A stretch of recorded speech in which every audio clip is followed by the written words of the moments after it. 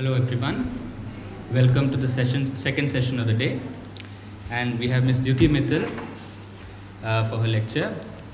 And before we invite her, may I introduce the speaker? Dyuti Mittal is a Delhi-based graphic novelist, illustrator and artist. She is a graduate in visual communication design from the Srishti School of Art in Bangalore. She wrote and self-published her own experimental graphic novel in 2009 her, and had her work exhibited at prominent galleries of the country, such as the Gallery Mirchandani Steinruecke in Bombay, and has worked as the illustrator and graphic designer for Down to Earth magazine, and has conducted fellowships with Sarai CSDS in Delhi, has been published as an illustrator in over 20 books with publication houses such as the Aleph Book Company and HarperCollins, and has recently completed a summer residency in illustration at the School of Visual Arts in New York. Her work mainly explores gender dynamics through the lens of her own experiences, social constructs such as normalcy, beauty, madness, modern day relationships, the politics of touch and identity. She is also pursuing an MA in design from the University for the Creative Arts in London. May I now invite Ms. Dyuti Mittal for her lecture.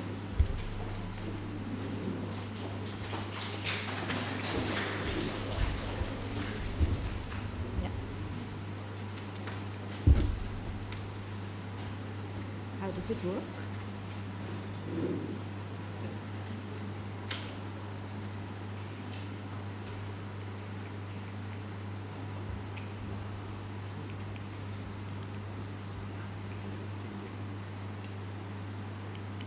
All right, thank you.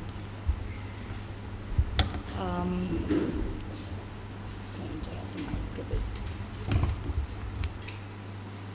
Uh, thank you for having me here. It's it's a complete pleasure. I'm very humbled and um, I'm a little ill at ease being here because uh, you know it's my um, because I'm still learning as a graphic novelist. I'm not there yet, and uh, so it's it's uh, it's very um, it, it's very humbling to be invited to share my journey and about my work.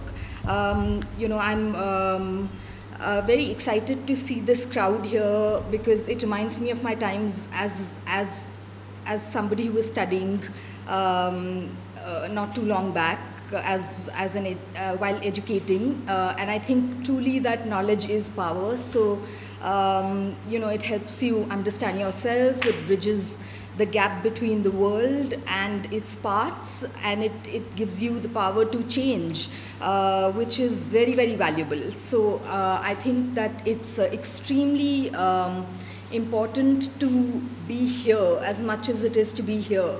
And um, and yeah i mean uh, I'm, I, I, I wish i could go back to those days and go back to uh, studying again. Uh, coming back to my presentation uh, i'm talking today about how to uh, you know i've already been introduced. I'm a graphic novelist and uh, an illustrator an artist. I tend to break out of terms. Um, I, I, don't really define myself uh, because I, uh, I do multiple things, but uh, if I have to call myself something, then yes, it, it is a graphic novelist. And um, I, um, you know, I, I've been in the practice now for the last 10 years or so. And uh, you know uh, today i'd be talking about how you can strengthen your roots and foundation as an artist. Things you don't uh, you don't you taught a lot about uh, you've analyzed books a lot. You've seen um, you've read books a lot but not many people will tell you how to actually strengthen your foundation as a graphic novelist slash artist um, and how to break the rules once you know the rules so so so how to break conventions as a graphic novelist um, and where i'd also be analyzing and studying where indian graphic novels are doing that and um, and um, yeah, I mean, where Indian graphic novels have done that or are doing that. Uh, so that's what I'd be talking about during this presentation. Uh, Indian graphics, when we're talking about Indian graphics here, I, I believe we're referring to uh, any kind of interaction between text and image. Uh, so it could be um, not just graphic novels, but comic books, picture books, um, all other kinds of image and text uh, based narr visual narratives. Um, I'm going to move to the next slide. Uh, I'm going to read out two or three quotes here, uh, which I find very powerful, uh, which I feel uh, students can really benefit from. So the first is the greatest hazard of all, losing oneself can occur very quietly in the world as if it were nothing at all. No other loss can occur so quietly. Any other loss, an arm, a leg, a dollar, a wife, is sure to be noticed. Uh, this is a quote about how it's very easy, uh, how in, in a world full of information forms, um, illusions, it's very easy to lose who you really are. And, and that is where my presentation is focused. It's about being in touch with yourself. Uh, it's about finding your own voice, your own individuality, your own self. So this quote is something that I really resonate with. Another quote I really resonate with is uh, the third one, which is uh, something my school teacher wrote to me very personally once, which says, be yourself. That is the, the best way to be for you. Do not know what skeletons in the closet of that ever elusive role model. Uh, so yes, I really resonate with the fact that we have to come to a point where uh, life is a constant journey of finding yourself, but but uh, uh, the, the deeper you go into uh, finding who you are and not relying on other other inspirations and other um, other percep- our perceptions of what we should be according to what others are uh, the, the more we'll be able to find our own voice and our own strengthen our own work so i think that quote is really important um, and um, I mean, it's a beautiful. And uh, the third is the creature gazes into openness with all its eyes, but our eyes are only as if reversed and surrounded everywhere like barriers against its free passage. Um, again, you know, the difference, this is about the difference between animal and man, which is uh, how an animal can feel freely. He can feel without seeing, which is an act of uh, using the mind, mind's filters to perceive things. Uh, so that feeling is uh, being able to, you know, we live in a world of, uh, of dystopia, of, of a gray space between feeling and seeing, where we can't really entirely feel or entirely see. Uh, you know, entire in, if you were to entirely feel, you would be an animal, and if you were to entirely see, you would be God. But entirely by seeing, I mean perceive from the mind's eye, and by feeling, I mean doing everything but perceiving from the mind's eye, which is perceiving from uh, your being and um, you know um, we lie somewhere in between doing neither. We neither feeling nor seeing. But at the same time the closest we the closer we can come to feeling or see, feeling or seeing the closer we can come to achieving um, being uh, the closer we can come to our work and associating ourselves with our work and finding ourselves in our work. Uh, so these were three quotes i wanted to start with um, uh, this was my concept. I'm just I'm just going to start with a bit of my journey as a graphic novelist and how um, you know my first graphic novel panned out. Um, so this was my this was the concept for my first graphic novel. I used numbers to. I was just talking about the concept of feeling and seeing, and how we neither feel nor see, and we lie in a space between feeling and seeing.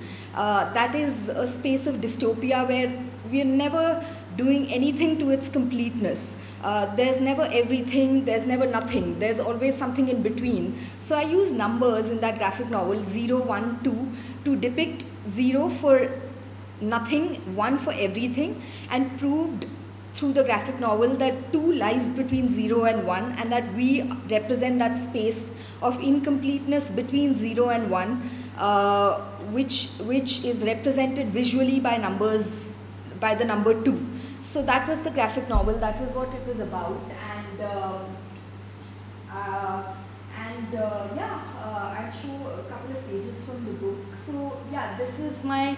Uh, you know, this is, I started with a lot of reflective work on the graphic novel. So there was a lot of writing, there was a lot of understanding what I wanted to say because I came from a place, I started out at a place where I was very influenced in college. I was, I was, uh, I was somebody who didn't really understand, uh, who didn't really understand uh, who I was. And I was, I was very caught up in what I wanted what I saw and thought I wanted to be. Uh, so you know when I was uh, when I was asked to do this project, I dived deep inside myself and I asked myself, what is it that it, what is it that matters to me and what is it that I have something to say about? What is the most important thing to me? Uh, and that's when I started discovering these thoughts about uh, how we create and how we live in a space of incompleteness between everything and nothing and um, and that was where my work starts you know my work wants to start at not adding more layers to the world of creation but actually studying what is already there and um, studying uh, what's uh, studying the world and the nature of, of life itself. Uh, so that's where it starts and that's where my you know reflection is really really important you have to de- dive deep if if nothing comes to mind then you have to persist you have to keep writing if if not consciously write unconsciously but write and and draw and uh, persist so that uh, you find your answer, you, you find your questions, not answers. You find your questions and you're able to, um, you're able to inquire. Uh, and you're able to um, you're able to understand what it is that you want to uh, talk about that is yours that you feel strongly about that you um, that you know you uh, mm, that you have something to say about. Yeah, because I didn't have anything to say about anything at all uh, for the longest time in my life uh, until I started reflecting. Uh, again, like coming back to what I was saying, I think I've covered this entire slide right now, but uh, uh, like, I, like I said, uh, it's discovering yourself is the first step to creating any piece of artwork, any piece of any any graphic novel. So uh, the first step is to um, is to be able to find uh, one second. Yeah, look within to find the essence of who you are and. Um,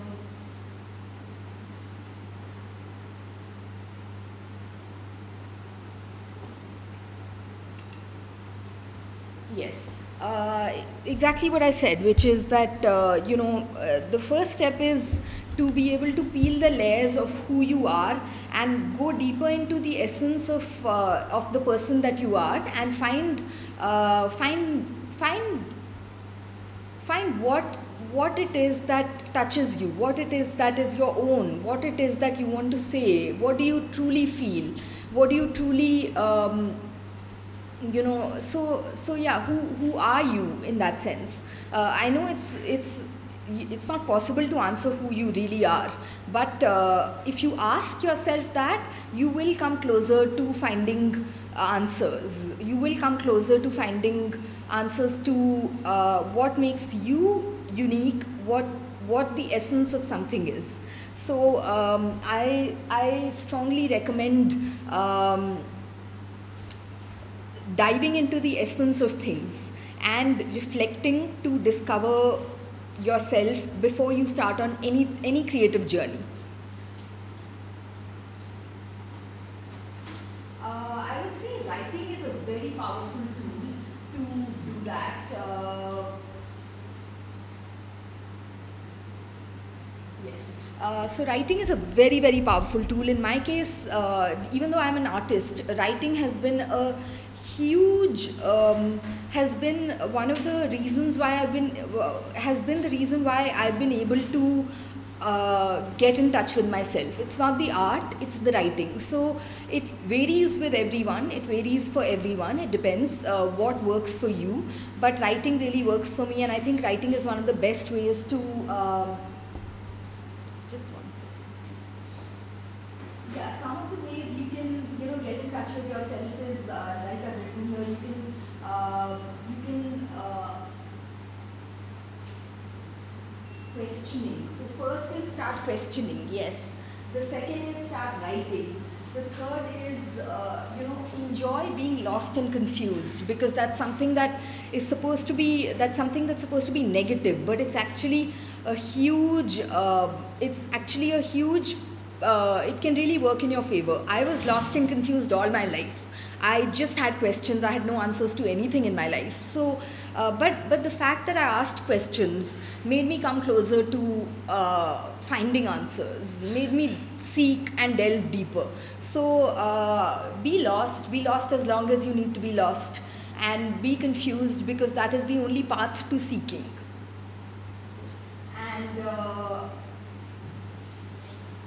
uh, other things like observing yourself through the means of uh, meditation, any other self discipline like uh, dancing, music, um, even say something as something like praying or any of any anything of that nature can be a, a discipline to look within and each and all of these things work towards um, bringing you closer to yourself as a creator.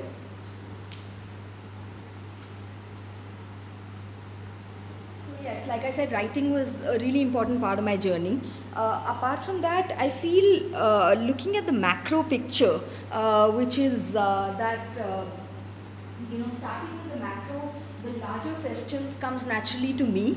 Uh, I don't know about others, but for me, I can't really just focus on smaller, smaller uh, stories around me. I need to ask the bigger questions about life, about who I am, about my existence, about uh, about how we create, why we create, who we are, and I feel um, so. That's my journey. I like to ask the macro questions, and then once I'm satisfied enough that I have an umbrella of um, answers to I have you know it strengthens my foundation at least I um, I'm able to um, yes I'm able to uh, see things in a in a larger perspective and um, that's why I would suggest students to ask the larger questions first and then be able to see the smaller uh, quest uh, questions in perspective of the larger questions. Um, that's my strategy at least and uh, I'd recommend that to all creative and uh, to all creative people.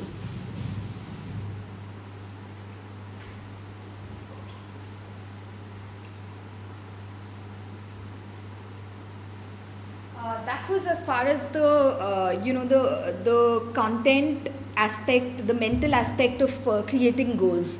As far as uh, the form goes, uh, I think there's nothing, absolutely nothing like uh, like writing constantly. So sorry, like. Um, uh, like drawing constantly so you have to start drawing you have to i don't know how many of you how, how many of you are artists and not just writers. Is anyone here an artist as well? Oh there are a few. Oh lovely lovely. So this talk isn't completely irrelevant to the writers here. Um, right so you know like uh, just drawing and drawing mindlessly drawing continuously drawing incessantly uh, helps with um, helps with finding your own style that's the only way you can discover uh, you can discover come closer to discovering your own voice i feel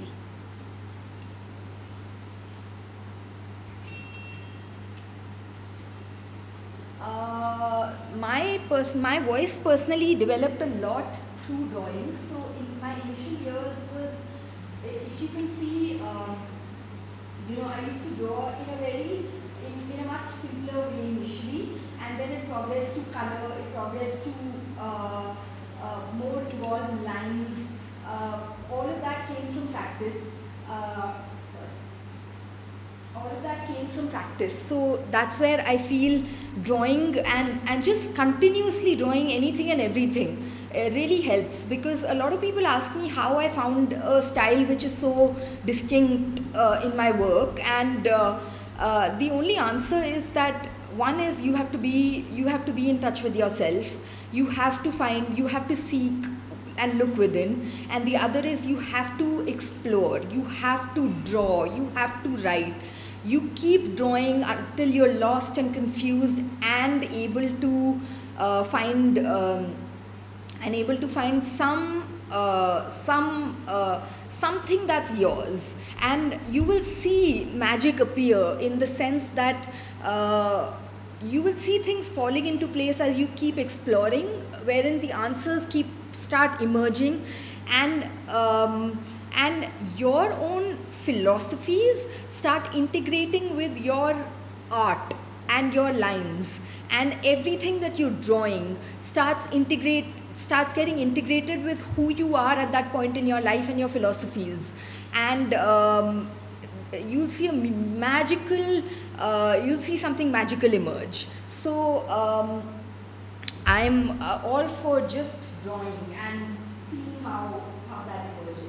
Uh, this is me displaying how you can draw the same thing at different levels of abstraction you know? So uh, this was me having drawn the same person the same face uh, sorry actually this is the one uh, this is me having drawn the same face, it's my maid, and it's her face in different levels of abstraction. So, explore, this is also part of exploring form and content and, and the interplay between form and content.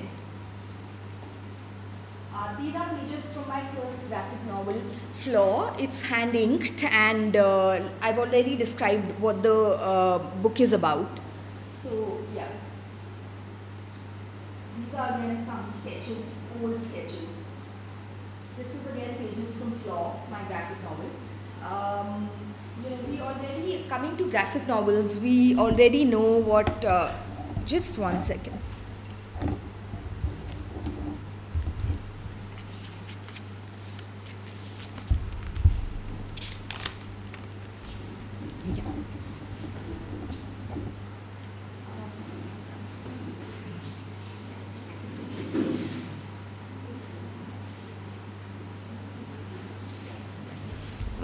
Yes. Uh, so, um,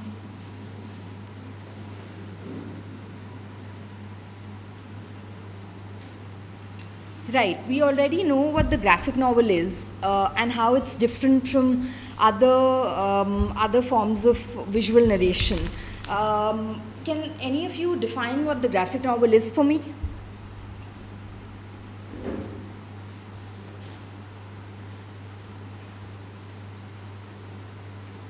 Does anyone want to define what the graphic novel is? All right, so nobody wants to. Uh, yeah, go, please.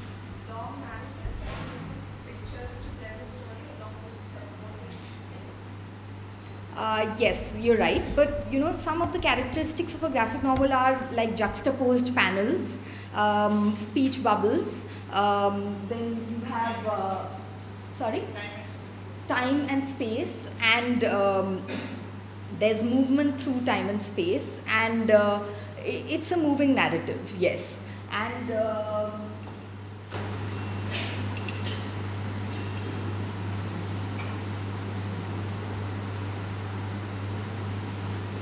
right so that's that's what we've got.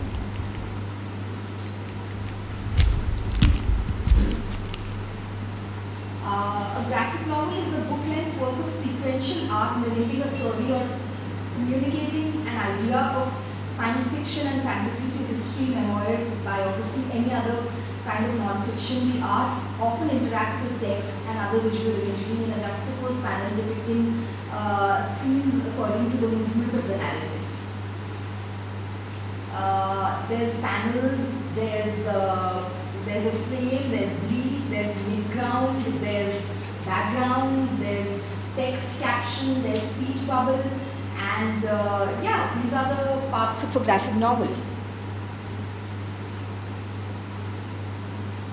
Uh, now my second, uh, uh, one of my graphic novels uh, was uh, The Taboo for um, this side, that side, which um, she mentioned. So, you know, for that, um, I started with very initial drawings like these, which were paper cuts that I was trying to explore with, and we moved on to pencil drawings of this nature, and these are my final drawings for the book. Uh, these are my final pages for the book, rather, with text and image, all hand drawn, and um, as you can see, I'm breaking the conventional form and format of the graphic novel. I'm uh, not using any uh, panels, any juxtaposed panels, uh, speech bubbles, or um, and break and connecting pages by uh, connect making a flow between different pages. So you know how I I try to make every page an artwork in itself rather than every panel an artwork in itself. And I like that the eye is guided from from every part of the page to every part of the page, you know. Uh, and you have to find your way. The, you make the viewer find their way through the page rather than guide them through panels. So that's personally how uh, I, I, I do graphic novels. And uh, this is an example of how you can break conventions of form and format in graphic novels.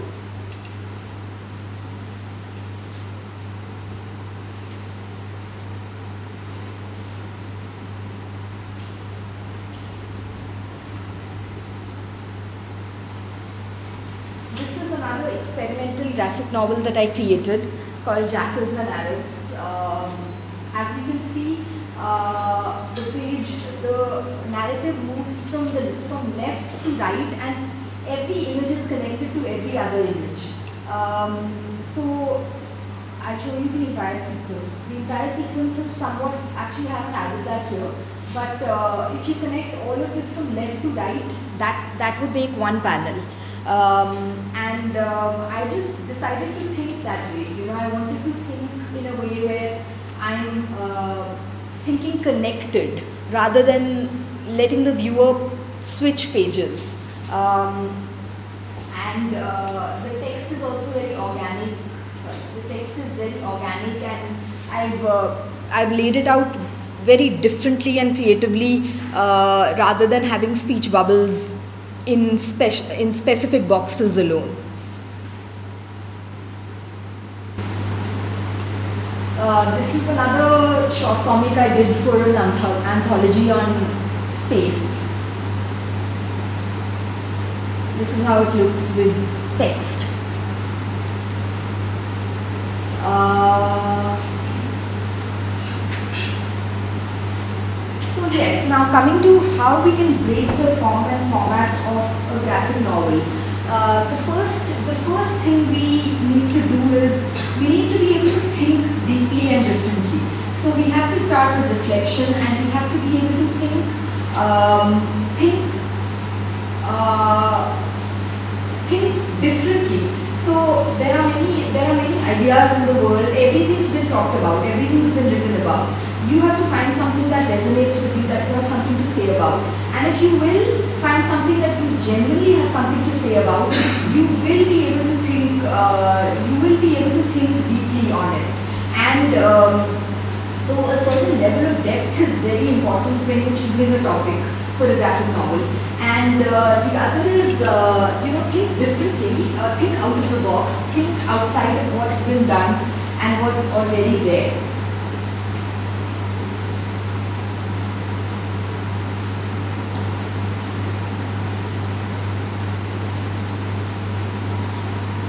Right. Uh, in terms of the form, how you can disrupt the form uh, of a graphic novel, uh, you know, you can find your own flow visually, like in my work. Uh, so you have to, you don't have to constrict yourself to the rules of uh, pages and turning pages and uh, page breaks. So you know, you can find ways to get rid of page breaks and find creative ways to connect visuals without breaking the flow. Uh, if, if you think that way, in, in my case I do. And, um, and for that there are other formats of books like accordion books. that you can go with. Uh, you don't have to go with uh, a regular book that turns pages. Uh, and um, in terms of the form, uh, you know, you can uh, guide the viewer's eye through the page in a way where uh, it's not very obvious. Uh, you have to find a way to, uh, you have to put yourself into that page. Uh, how would you want to read that page?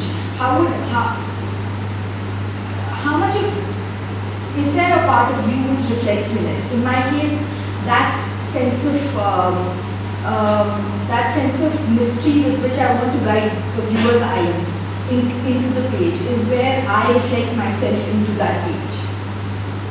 Uh, also, like, uh, uh, of course, we spoke about that, but breaking uh, in terms of form, you can always uh, uh, break away from panels and and these are just some ways. I'm not saying these are the only ways of doing it, but if you can if you can break away from certain rules after knowing them, then you can construct and do things which haven't been done so far at all. Uh, do it your way, just break boundaries, and uh, that is where I think um, uh, that is where like great art comes out. I feel. I'm not saying I'm great artist. I'm just saying great art. Yeah. Uh, and uh,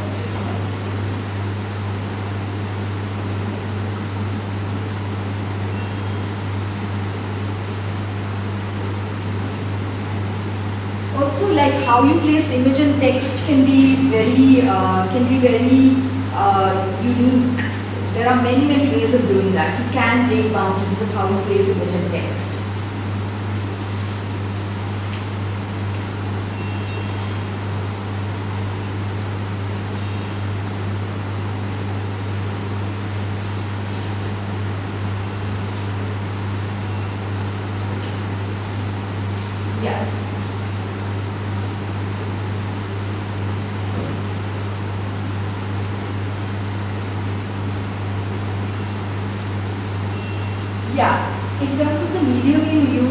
there are mediums out there. Uh, you know, you can uh, you can try mixed media.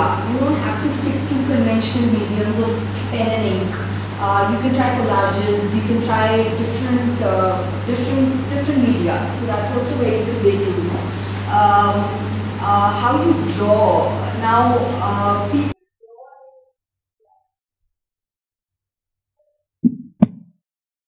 Yes, how you draw is also uh, something you can add your individuality to. So, uh, you know, like in my case, for example, I uh, people draw in different ways. A lot of people I know draw on A4 size sheets, and they're able to draw very minute details in very little space. Um, and they they work from outside towards the inside. But I, on the contrary, work from inside towards the outside. So I keep expanding, and I keep expanding since my work is based on flow and connection. Um, it's very visceral and it keeps growing outwards uh, intuitively. So I need to, uh, I need to, what I do is, uh, I found, I figured that something special about me and I found a way to work around it, which is that I keep, I start with a point on a paper, I keep moving outwards and joining pieces of paper until a huge piece of, uh, huge piece of flex paper has been covered with for one visual. So uh, I uh, this is how I work. I you know you can keep joining papers like I do. You can do whatever it takes, but follow your style of drawing. Whatever resonates with uh, your philosophy of uh, drawing and whatever. Um, right, whatever uh, comes naturally to you, right, and and try to work around those strengths. Play around, around your strengths. Um, in terms of abstraction and stylization, uh, do not be afraid of being able to draw things exactly as they are or visualize them perfectly, uh, though it's a choice to do so. So, you know, I would, I would always say not being able to draw is also a style. Uh, and uh, you know like i'm not a very good uh, i'm not a very good artist uh, i in, in in a very conventional sense i can't draw things exactly as they are maybe if I tried, I can. Uh, I haven't even worked on that because I didn't do a fine arts course. But uh, I, you know, you don't need to be able to draw perfectly and have perspectives in place to be able to draw. You all you need is so stylization itself, as long as it is consistent and it comes naturally to you, is a way of uh, drawing which um, which can work wonders. So if you can't draw, if you can't imagine human forms, for example, or animals, for example, draw them as warped as they come out from your pen at that moment of imagining them and uh, see how it will become a style on its own. So, you know, these are, these are small ways of uh, finding, uh, of playing around with abstraction and stylization.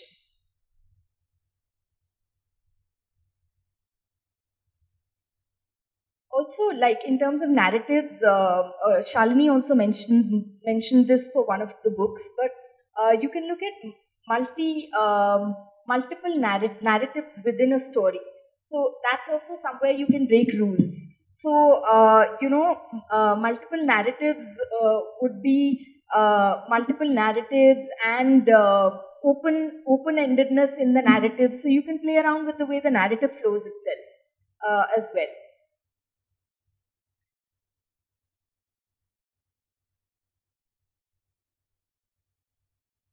um, you know, in, in art, a lot of uh, a lot of rules have been broken. Uh, a lot of artists are what they are because they broke the rules and created something that uh, only they could. So Picasso was one of those artists. So I've, I've put a couple of his works here.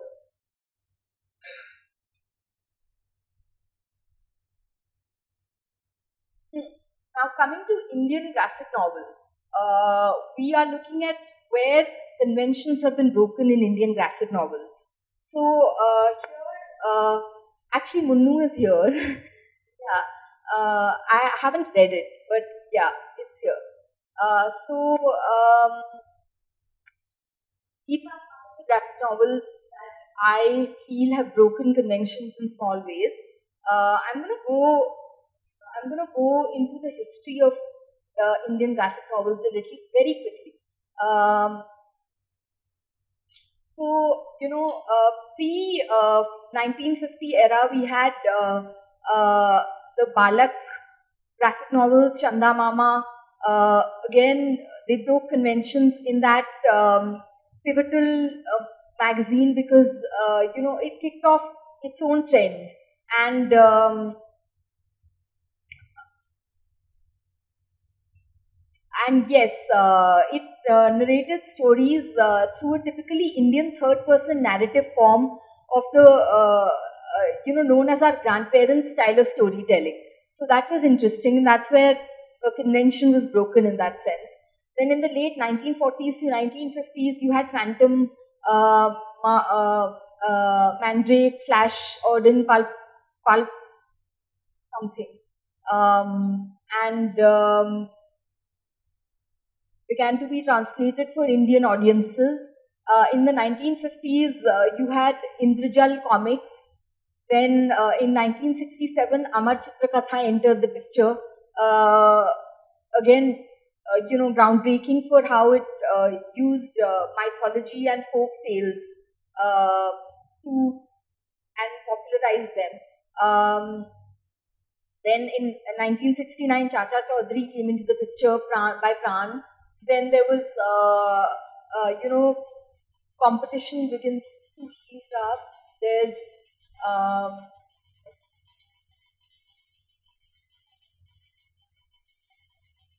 in 1980 there was Twinkle magazine was founded.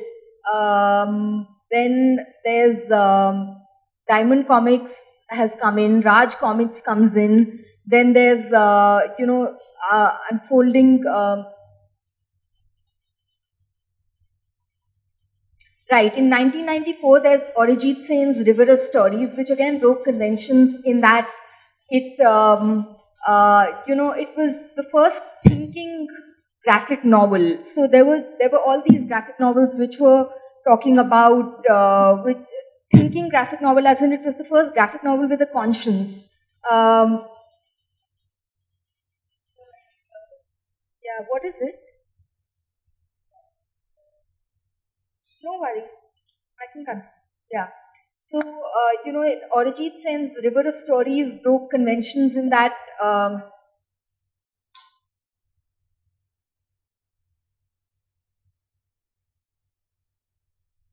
Right. Orijit Sen's uh, River of Stories broke conventions in that it was the first uh, graphic novel with a conscience. You know, it was talking about a, a topic which was close to our lives, which was something uh, which was uh, consensuous and um, and not just about mythology and history. So that's where it broke conventions. Uh, even in terms of the narratives, there were multiple narratives, like she mentioned in the book. So uh, multiple perspectives and narratives So that made it very interesting. And it was the first Indian graphic novel. Uh, so yeah, I mean that term was used first by Orijit Sen uh, after Sarnath used uh, next. Yeah.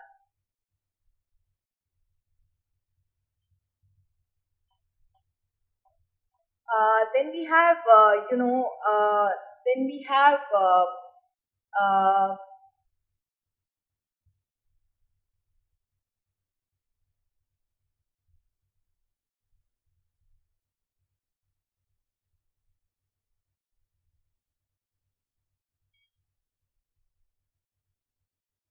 Sarnath Banerjee enters the picture in 2006 with uh, with the corridor, and then Amruta Patil, the first woman graphic novelist, the first commercial woman graphic novelist to enter the scene, comes in, and uh, she talks about uh, you know breaking gender stereotypes by introducing a lesbian character. So that's again where conventions are broken.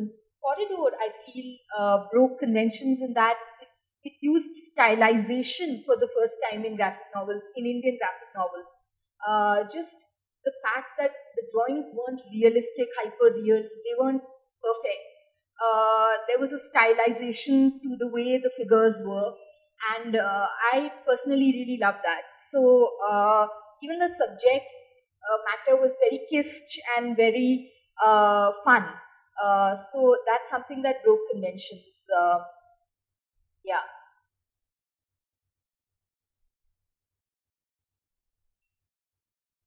We have in 2008 we had campfire graphic novels which again uh, you know which was again uh, which became very big because it associated with uh, giants outside the country. Um,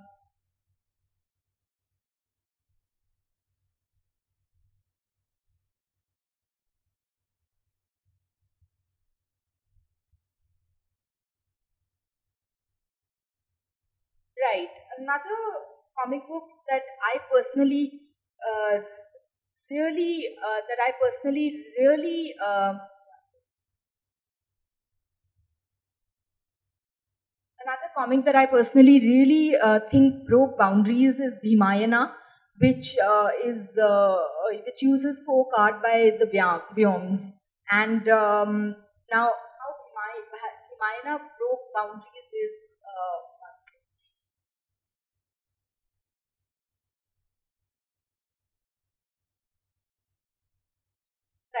So Bhimayana uh, was um, the illustrations, you know, are uh, very open-ended. Uh, they are they are leaving things open-ended. The narratives are multiple in the book. Um, there's a personal touch in the narration. Um, there's uh, there's a lot of symbolism, uh, which is like hands and motifs that that are depicted in the book uh, fluidity of interpretation is there. Uh, there's, uh, you know, it's breaking away from bubbles and uh, panels again. So the, the visuals are flowing outside, outwards. So again, Mayana, I feel, really broke boundaries and uh, there are some examples of, examples of work from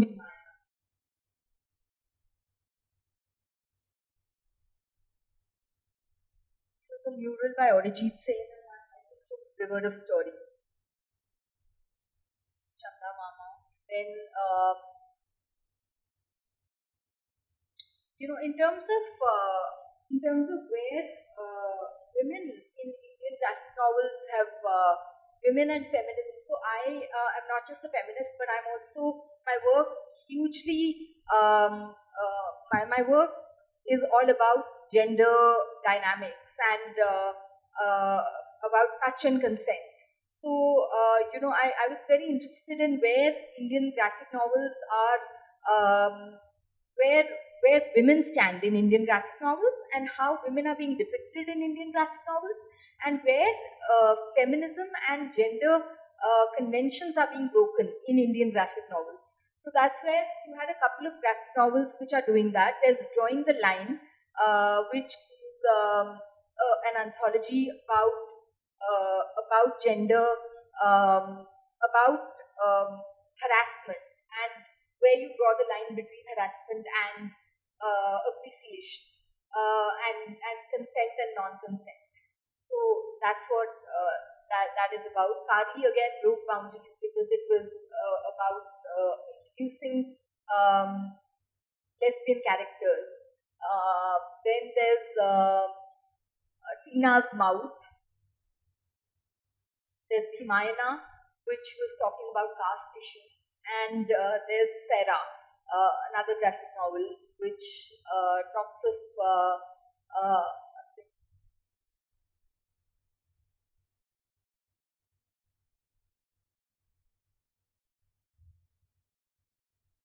Yes, it talks about the dilemmas women all over the world have faced.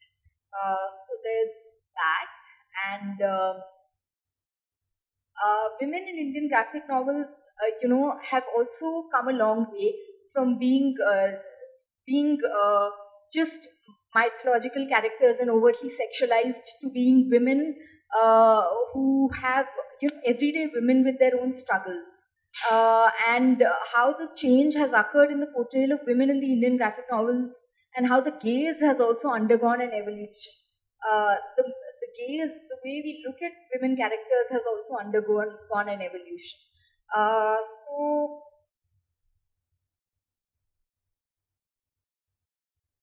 yes, uh, that's all. Can you show the uh, PDFs?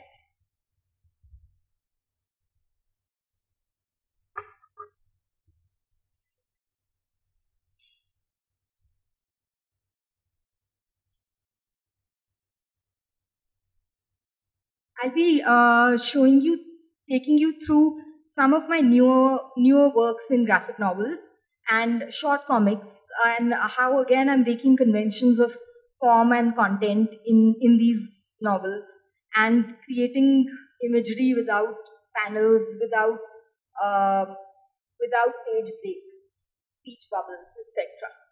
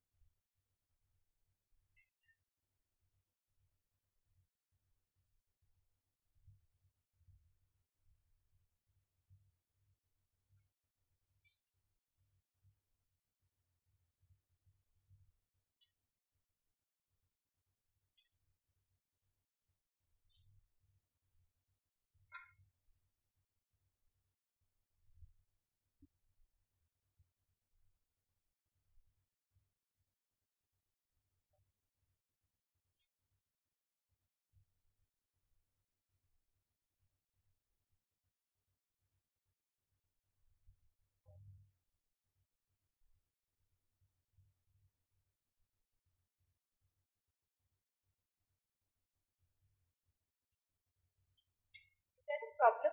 There is? Okay, okay. Otherwise, we can skip it.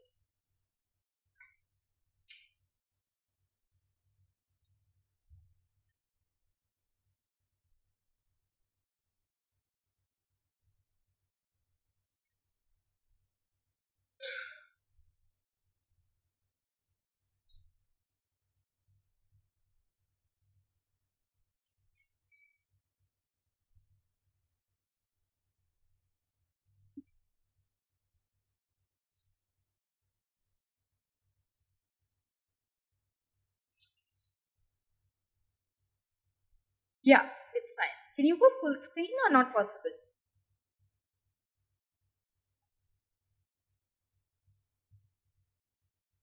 Yeah, that's.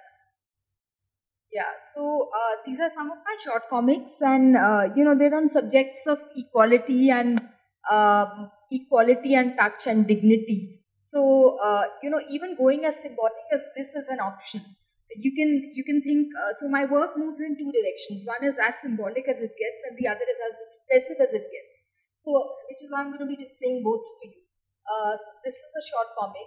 Uh, you show some other work no not this something else in color not this not this um, yeah. So this is again an accordion book that I have created on uh, called Innocence and Abuse, which is about um, uh, about sexual and physical abuse and how it impacts impacts a woman. And um, as you can see, again, it's an accordion book. Each visual is connected to the other. Uh, but you can see how, uh, again, I have broken conventions of form and content. And uh, the forms in a very uh, unconventional manner.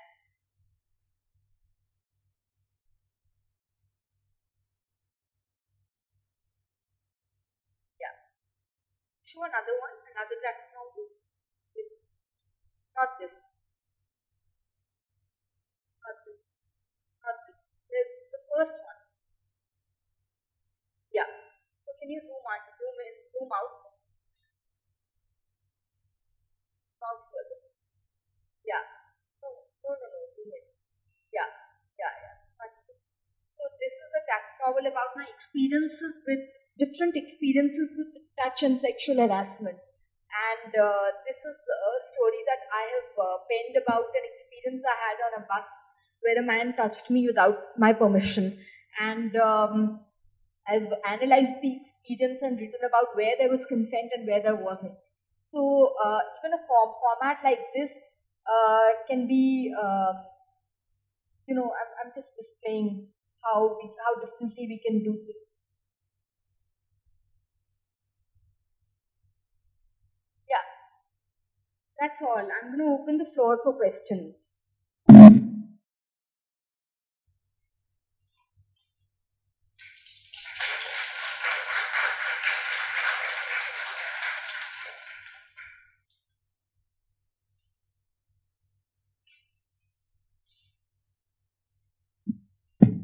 Thank you. Yeah.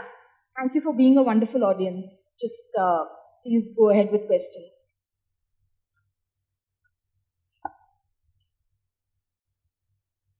So thank you for the wonderful presentation. So I have just two clarification, maybe not question. So you were uh, talking about how the sense of spilling over the frames to the next page. Yes.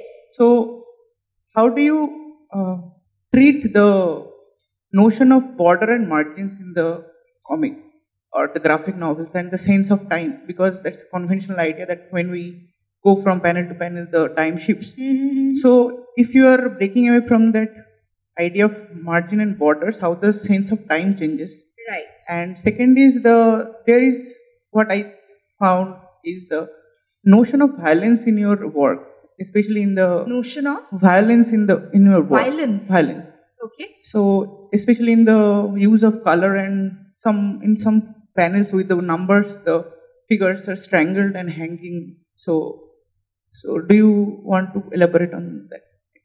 Uh, I'll start with the second point. I don't think there's a notion of violence in my work, to be really honest. Uh, I talk about yes, the th- themes of my work have a lot to do with um, uh, with sexual and physical abuse um, because I empathize with it a lot, and uh, I uh, and and touch and and consent. But violence, particularly, I'm not sure. Maybe it's un uh, unintended. Uh, and as far as the first question goes, uh, which is uh, about um, about the sense of time and space, and how do you depict that without page breaks and panels? Uh, there are many ways in which you can do that. One is symbolism. So using symbols like the sun, the moon, uh, using colors is another one. Using colors like from from the panels going from yellow to black can depict time changing. Uh, another way of using uh, showing time changing is distance.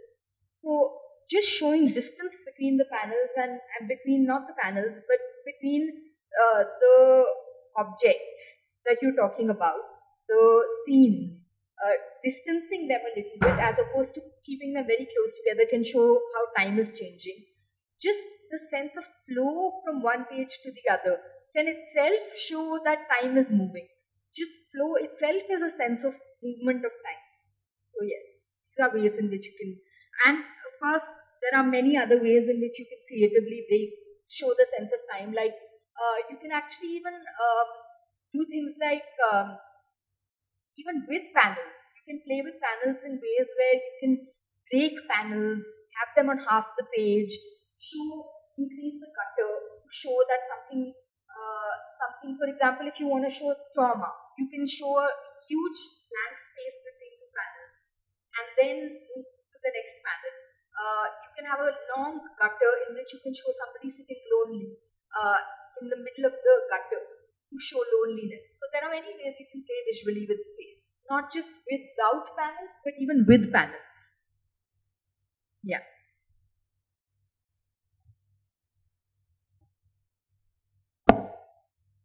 Hello, ma'am. Hi. Uh, I have a question. Uh, I had I really loved that particular illustration from uh, Jackals and Arabs. Oh, Uh, okay. the one which is continuing Sure. from left, right?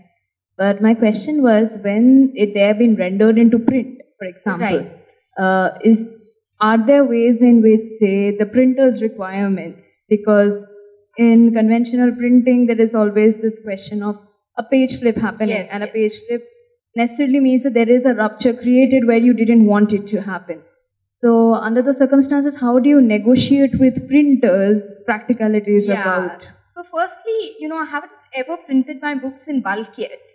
I've only printed self published and I've printed select copies as of now.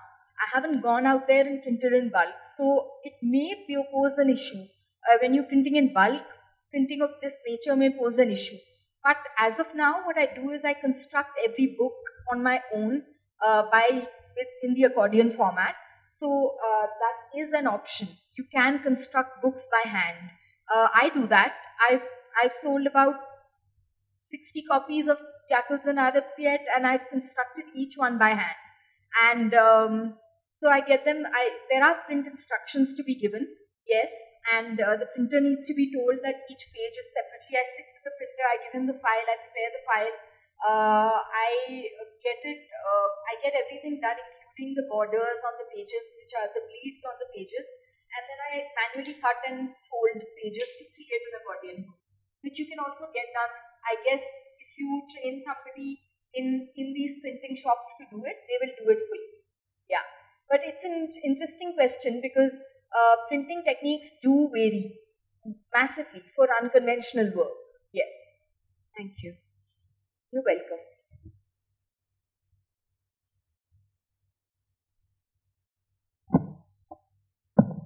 Uh, hello, ma'am. Thank Yes, you for the hi. lecture. Um, I was thinking, since you are talking about breaking conventions and how you individually uh, make your comics in distinct forms, right? Yes. Like, for example, she took the example of the con- con- con- continuous panel.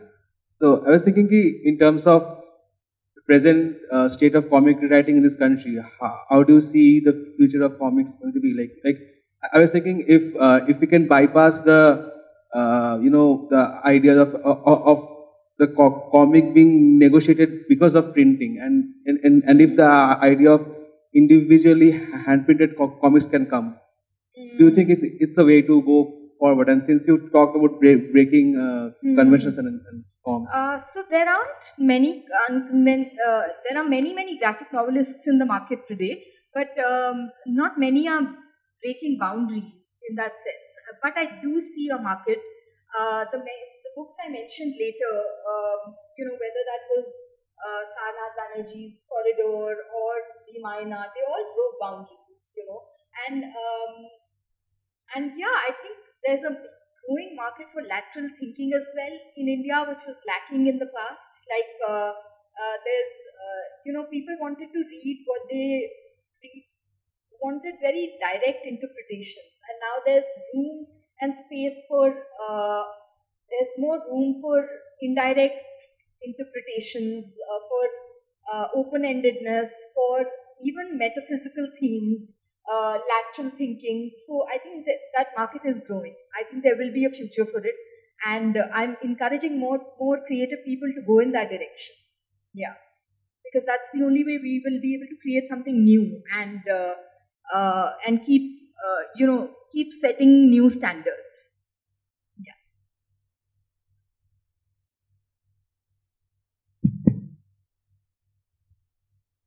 Okay. Hi, Meenakshi. Hi. Uh, so question is, since you're both a student of design and you're discovering your voice as a graphic novelist, do you use any of that theory that you actually learn, you know, uh, from the institution in the work that you do? Like, what is the research that goes behind your work? Is it very different from the theory and the techniques that you're, you know, learning as part of the course, or is it something that you discover by yourself? So, uh, Meenakshi, very, very interesting question. Uh, I would like to tell you that we were not taught graphic, how to create graphic novels in college at all. And I don't think any colleges do that. Even at School of Visual Arts, where I studied illustration, we weren't taught how to create graphic novels. So, uh, you know, you're taught illustration, uh, but there are very few courses in graphic novels in the world. So, uh, there isn't, most graphic novelists are self taught, and as am I and uh, you know yes college col- college what college helped me with was learning how to think deeply how to question and how to you know it it uh, it helped me with my liberal arts thinking especially because Srishti is very powerful with its liberal arts. So uh, it really helps you be able to think of various uh, sources around you um, critique others' work, um, see what's been, been done uh, in the world. So yes, Srishti gave me that. But as a graphic novelist, I've pretty much learned everything on my own uh, by by playing with the rules. I haven't even actually, as a matter of fact, read too many graphic novels. Uh, she was quite shocked. I haven't even read one. So uh, I uh, no okay. I thought you right, but I haven't read many graphic novels. As a matter of fact, I just uh, you know I um, I think there's a way to uh, focus on your own work and uh, to to explore, to experiment, to find your way by doing. Yeah. I have one more question because as an artist, you'll be able to give us an insight into this. So, when you're creating uh, your uh, book or a complete narrative, do you how does the script writing uh, go together with the art making? So do you sit with the person writing the script, or do you write your script yourself? And how does it go together? Do you first write the entire script and then go to the art? Right. In the last presentation I did at Hyderabad University, I had discussed that in great detail. So I didn't cover that this time. I like I wanted to cover the process of how I create, but I didn't cover that because I've already done that the last time. But the process involves working on the script first, in my case, and then creating the visuals. So the script is definitely first. You have to do a storyboarding of the script. You have to have a clear. So the first step is reflection and understanding what you want to talk about and having a, a source of information around it. uh, and and knowing uh, having enough to say about something uh, and enough depth of of something to say you know uh, not just having something to say but at a certain depth and then the second step is to start writing down how the narrative would fall so uh, this this uh, breaking down the narrative into different parts of how the script will fall is next and then simultaneously I work on fleshing out the text and fleshing out the visuals based on the script. So that's how it, my process. And then there's the inking, the, um, the, the coloring, the scanning, the design, all of that follows. Um, there are ways you can make that process, like you can actually uh, create visuals sometimes and then go along with it to create the book, to create the script. People can do that, but I think that's a little confusing. That can be a bit confusing for the creator. And um, yeah, I mean, there are other ways in which you can, um, uh, and yeah, um, so yeah, I mean, this is how this is my process. I would, I'd start with, uh, I start with the script first, and then I move to uh, the text. Yes, I was going to say that in books like The Taboo, this side, that side, for example, I uh, was already given a with text. So in that, in cases like that, you have to separate uh, the parts which are quoted, which would come in speech bubbles from the uh, narrative of the script otherwise, and and then uh, have those in speech bubbles and break down the script into uh, pages. Uh, storyboards, panels hota hai generally, like in my case, pages. So like page one में क्या आएगा, page two में क्या आएगा, how much of the script will be covered on each page. And uh, you, like Vishwajyoti had told me already that you have only 12 pages. So I had to keep in mind that my entire script has to be broken into 12 pages. So, you know, there was a little bit of going backwards. Yeah. I hope that answers your question. Yeah. Do we have any more questions?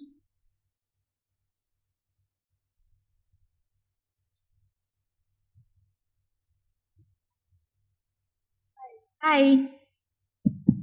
Hi. Uh, I just wanted to know, like, uh, have you uh, experimented with other forms, uh, like more 3D forms, like the immersive storytelling? Like, uh, so there's this app like Mental Canvas, which kind of uh, transforms the graph 2D graphic novel into a 3D cinematic format. So have you experimented in those forms? How would you kind of you know, convert 2D formats into those? Okay, so I can convert my work into 3D formats. I haven't yet. Uh, I worked with two formats. One is a pop-up book. I have done that. That's a 3D format on its own. And then I have worked on animations. Uh, so in fact, my work is very easy to animate because it's already moving from left to right, and it's already it already has a, has a sense of like it's difficult to animate panels, but in my case, there's already a flow of movement around across the page, so it's very easy for me to animate my work. Uh, and um, so animation is something that comes very automatically for my work. And uh, um, 3D forms, other than that, like I'm not sure which you're referring to, but uh, pop-up books, for example, yes, I have tried them. And uh, there are other uh, there are other source there are other ways of like people actually create will actually create clay models, for example, uh, and put them along with their graphic novels. So that's also an, a way you can extend to the 3D form. Uh, these are the ones that I can think of off my head. Yeah.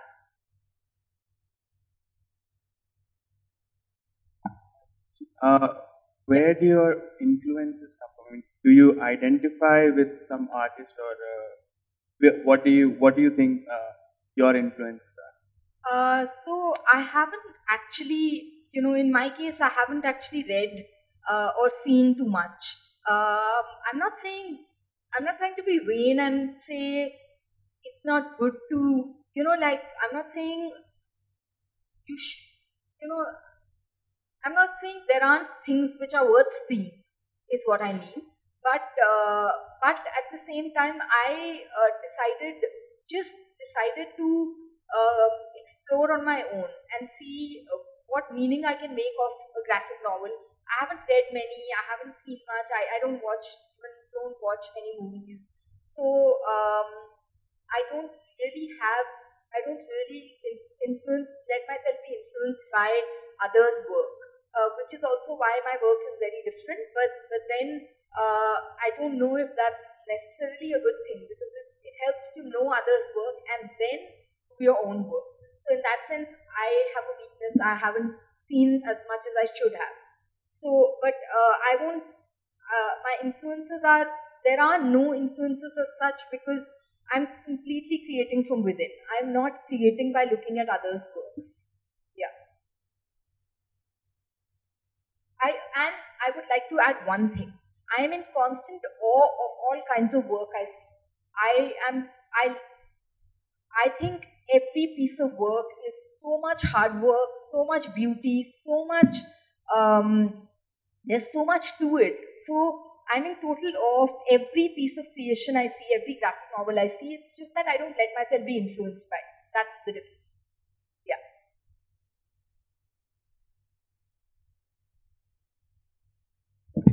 Any more questions?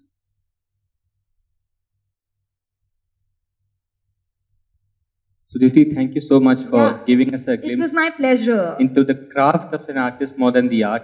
Absolutely. Thank you for that.